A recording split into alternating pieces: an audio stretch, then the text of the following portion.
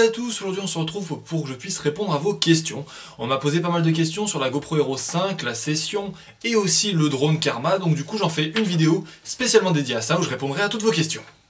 Est-ce qu'une prise mini USB est disponible sur la GoPro Session Hero 5 Alors je ne pense pas, ce n'est pas une affirmation mais je ne pense pas, parce qu'elle a l'air d'être exactement la même que la GoPro Session normale, et sur celle-ci, eh bien, on n'avait pas de prise mini USB, mais une prise micro USB qui permettait la recharge.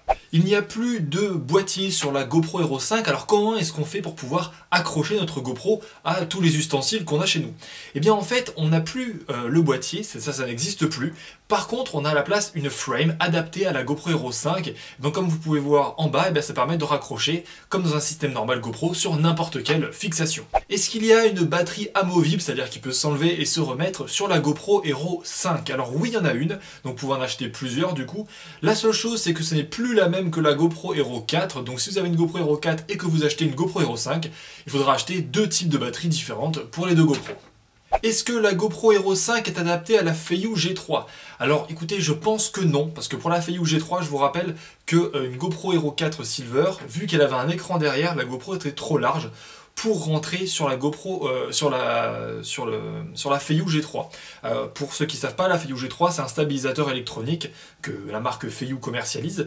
Et donc, eh bien en fait, pourquoi ça, ça ne s'adapte pas? C'est parce que les vis ne sont pas assez longues. Donc, si tu as une GoPro Hero 5 ou alors une GoPro Hero 4 Silver et que tu as déjà chez toi une Feiyu G3, donc ce fameux stabilisateur, eh bien tu changes la taille des vis. Tu prends des vis qui sont simplement plus longues et tu pourras normalement l'utiliser pour ton stabilisateur électronique.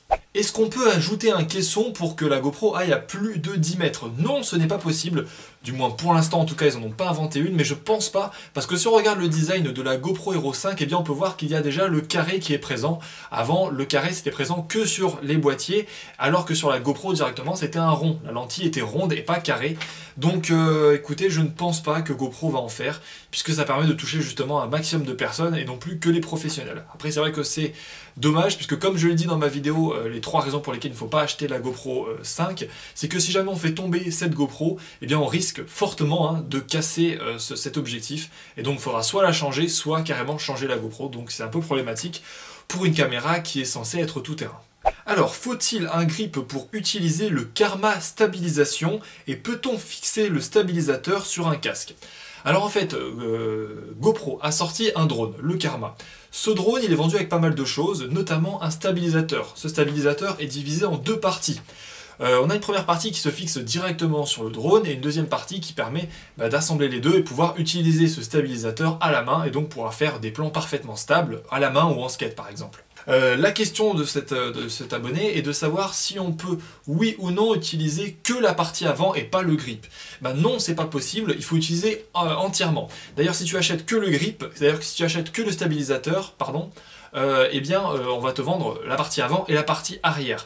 Par contre, oui, tu peux utiliser ce stabilisateur sur n'importe quelle fixation, puisqu'on te vend avec, euh, que ce soit d'ailleurs en achetant le drone ou que ce soit en achetant que le stabilisateur, on te vend une petite bague d'adaptation dont tu vas mettre autour de ton stabilisateur, qui elle va pouvoir te permettre de fixer bah, ton stabilisateur sur ton casque, sur ton harnais, sur ton guidon, sur tout ce que tu veux.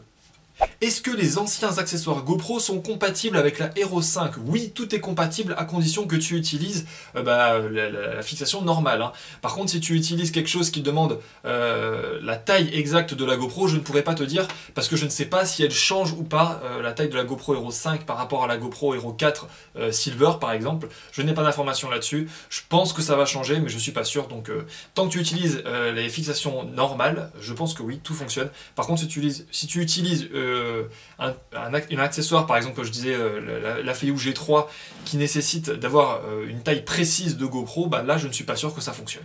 Est-ce que le drone est livré avec la GoPro? Alors, le drone est livré avec euh, une valise de rangement avec un stabilisateur, les hélices, les batteries, etc. Mais pas de caméra, ça faudra l'acheter à part. Ou alors vous pouvez garder la même si vous avez l'Aero 4 Silver et Black. Ce drone fonctionne avec l'Aero 5 Silver, l'aéro, euh, pardon, l'aéro 5, l'Aero 5 Session, l'Aero 4 Black et l'Aero 4 Silver. Toutes les autres GoPro ne fonctionnent pas, donc il faudra que tu t'en achètes une ou alors que tu aies déjà une de ces GoPro. Vas-tu acheter la GoPro 5 Alors non, je ne vais pas l'acheter pour la simple raison que je n'ai pas l'argent. J'avais déjà fait une vidéo il y a longtemps euh, où je me demandais de, de, m'aider à, subventionner cette GoPro. Ça n'a pas trop marché. J'ai pu avoir, euh, je crois, quelques euros qui m'ont permis d'acheter du matos pour la vidéo, du coup, parce que je n'avais pas eu assez pour m'acheter cette GoPro 5, donc du coup, bah, je ne pourrais pas l'acheter pour vous la présenter. Le Karma est-il compatible avec la Hero 4 Session? Alors c'est vrai qu'on peut se poser la question, puisque ce drone est compatible avec la Hero 5 Session, mais pas compatible avec la Hero 4 Session, c'est-à-dire l'ancien modèle. Pourquoi? Eh bien là, comme ça, théoriquement, hein, j'ai pas de preuve, hein, je dirais que c'est peut-être par rapport à des composants, des mises à jour qu'ils peuvent faire, qui permettent de, euh, pouvoir faire une transmission d'informations entre la GoPro, le drone et, euh, la manette. Et, euh, et, qui ces composants ou cette mise à jour qui est possible de faire ne doit pas être possible de faire au niveau des GoPro 4.